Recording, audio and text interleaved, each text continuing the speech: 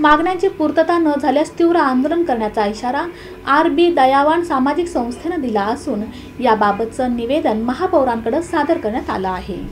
कोंडानगरमधील सर्व नागरिकांचे हाल होत आहेत. पावसामुळं जीव जाण्याची शक्यता देखील निर्माण झाल्यानं नागरिकांच्या वतीनं तसंच आरबी दयाबान बहुद्देशीय सामाजिक संस्था आणि भीम आर्मी एकता मिशन संघटनेमार्फत महापौर श्रीकांचना यन्नम यांना निवेदन देण्यात आलं. दरम्यान त्वरित पर्यायी जागा उपलब्ध करून द्यावी राहण्याची सोय करण्यात यावी असं या निवेदनामध्ये नमूद करण्यात आलं आहे.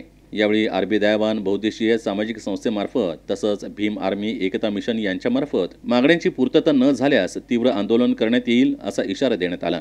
समजून घेऊन एकमेकांच्या मदतीच्या याच्यामधून गैरसंसार उदरनिर्माण चालू होतं.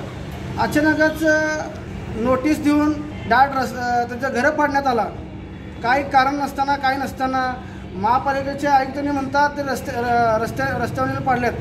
आणि कलेक्टर साहेबांनी म्हणतात आमच्या आमचं तर आम्ही सांगितलं नाही. मग आम्ही आलो आता महापौर महापौर भाईकडं महापौर भाईकडं आलं तर महापौर भाई म्हणते तुम्ही सात महिने काय केलात? महापौर भाई मॅडम तुम्ही प्रथम सोलापूरचे प्रथम नागरिक आहात. तुमचं काम आहे. सोलापूरमध्ये कुठं कुठं काय काय होतं काय काय नाही तुमच्यापाशी प्रश्न मांडतात. लोक तुम्हाला पेपर येतात टी व्ही सुद्धा तुम्ही बातम्या बघता. तुम्हाला सगळं माहिती असून सुद्धा तुम्ही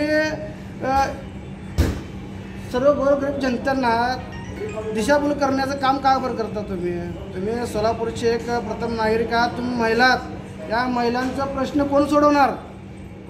हे आमचा प्रश्न आहे. हे सहा महिने झाले आमचे घर गेलेले आहे माझे दोन मुलं शाळा शिकणार आहे. माझा नवरा हमाली काम करतात आता भाड्यानं घर सुद्धा आम्हाला भाडं परवडत नाही.